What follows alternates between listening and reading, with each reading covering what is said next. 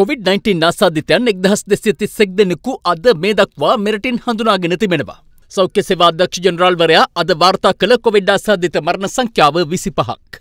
මේ ඔමික්‍රෝන් ප්‍රබේදයේ රෝග ලක්ෂණ ඉතාමත්ම පීඩාකාරී නොවන නිසා සංකූලතා සහ නිදන්ගත රෝග සහිත රෝගීන් පවා නිවෙස්වලට වෙලා සිටින බවට අපිට පැහැදිලි තොරතුරු වාර්තා වෙලා තියෙනවා. ඒ ඇත්තටම ඉතාමත්ම භයානක තත්ත්වයක්. මොකද නිදන්ගත රෝග සහ වෙනත් රෝග වලින් පෙළෙන අයට සහ විශේෂයෙන් බූස්ටර් මාත්‍රාව නොගත් රෝගීන් හට ඉතාමත්ම දරුණු සංකූලතා වලින් තමන්ගේ ජීවිතය අවදානමට ලක් වෙන්න පුළුවන්. ඒ වගේම මේ වෙද්දී රෝගීන් වාර්තා ඉහළ යාම නිසා ප්‍රතිශක්තිය හීන යම් අයෙක් ඉන්නවා නම් ඒ වගේම එන්නත් ලබා ගත්තේ නැති අයෙක් ඉන්නවා නම් ඔවුන්ට රෝග ලක්ෂණ තීව්‍ර වෙනවා වගේම මරණය කරා යමින් තියෙනවා කියන එක තමයි පේන්න තියෙන්නේ. කෙසේ වෙතත් අපි මහ ජනතාවගෙන් ඉල්ලන්නේ මේ මොහොත ඉතාමත් බැරෑරුම්. COVID-19 රෝගීන් විශාල වශයෙන් වාර්තා වෙනවා. ඒ නිසා අපිට කළ හැකි හොඳම දේ තමයි සෞඛ්‍ය උපදෙස් දැඩිව පිළිපැදීම සහ ඔබට මීළඟට ලබා ගැනීමට නියමිත එන්නත් මාත්‍රාව ලබා ගන්න එක.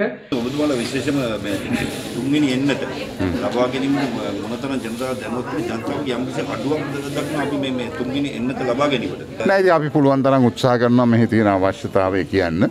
අපිට බල කරන්නට බෑ. මගේ විශ්වාසය තමයි පළවෙනි එන්නත් දෙක සාර්ථකව කරලා 100%ක්ම ආසන්න ගානකට කරපු නිසා එහි ප්‍රතිඵලයක් හැටියට තමයි ඔය කියන හෙම්බ පිරිසාවක් වගේ වෙන්න එක හේතුවක් හැටියට ඒ නිසා මං හිතනවා යම් කිසි විදිහේ හිතන්න පුළුවන් කණ්ඩායමක් ඉන්නවන එය මේ එන්නත ලබා ගනේ කියලා ලෝකේ මං හිතන්නේ බොහෝ රටවල් මිනිස්සු යනවා ආණ්ඩු පස්සේ අපිට එන්නත ලබා දෙන්න කියලා කරුණා කරලා මේ ලංකාව තමයි ආණ්ඩු යනවා මිනිස්සු පස්සේ එන්නත ගහගනින් කියලා. අපි ඒක කරගෙන යනවා පුළුවන් තරම්. මේ අතර සියලුම සංචාර්ක වීසා සහ විදේශ ගමන් බලපත්‍ර දරන්නන් මෙරටට පැමිණීමේදී මෙරට COොVID-19 රක්ෂණාවරණය ලබා ගැනීම අනිවාර්ය බව ශ්‍රී ලංකා සිවිල් ගුවන් සේවාධිකාරිය නිවේදනය කරනවා. එම රක්ෂණාවරණය අමරිකානු ඩොලර් දොළහක මුදලක් ගෙවා ලබාගත හැකි අතර මසකට අමරිකානු ඩොලර් හැත්තෑ පන්දහසක ආවරණයක් එමගින් හිමි වනවා.